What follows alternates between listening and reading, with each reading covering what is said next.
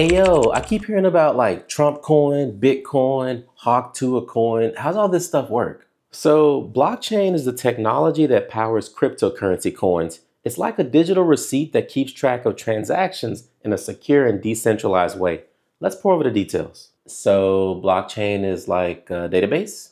Exactly, but instead of being stored in one place, it's distributed across a lot of computers and we call them nodes. Each block in the chain contains a group of transactions, and once a block is full, it's linked to the previous one, forming a chain. So why do people consider the blockchain so secure? Well, blockchain uses cryptography to secure the data. Every block has a unique digital footprint called a hash, and that changes if somebody tries to mess with the data.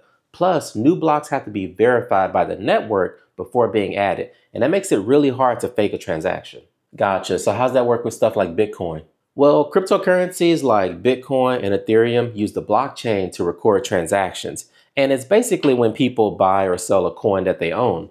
When you send or receive crypto, it's added to the blockchain as a verified transaction. Okay, and you said it was uh, decentralized. What, is, what does that mean? It means there's no central authority like a bank controlling the system. Instead, all the nodes in the network work together to validate the transactions, which increases transparency and reduces the risk of fraud. Oh, I see. Okay, so how about mining? I've got a 4090 GPU and somebody said I could mine some coin for myself. Well, mining is how new blocks are added to the blockchain and how new cryptocurrency is created. Miners use powerful computers to solve complex math problems, and the first one to solve it gets to add the block and earns crypto as a reward. Oh, so that means I'd have to use my GPU like all day just to mine a small amount of Bitcoin then. Why is it so resource intensive? Well, because the math problems, which are called proof of work usually, are designed to be really hard to solve but easy to verify. And this prevents people from messing with the system, but it also uses a lot of electricity and a ton of computing power. So do they mine all the cryptocurrencies?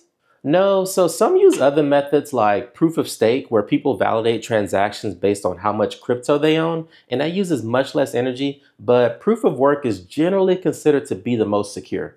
Okay, so the blockchain is just a secure way to keep track of the transactions, and Bitcoins and cryptocurrency is just one way that we use the blockchain. Exactly. Blockchain has other ways you can use it too, like uh, supply chain tracking, uh, secure voting systems, and smart stock contracts. Cryptocurrency just happens to be the most famous way people know about the blockchain.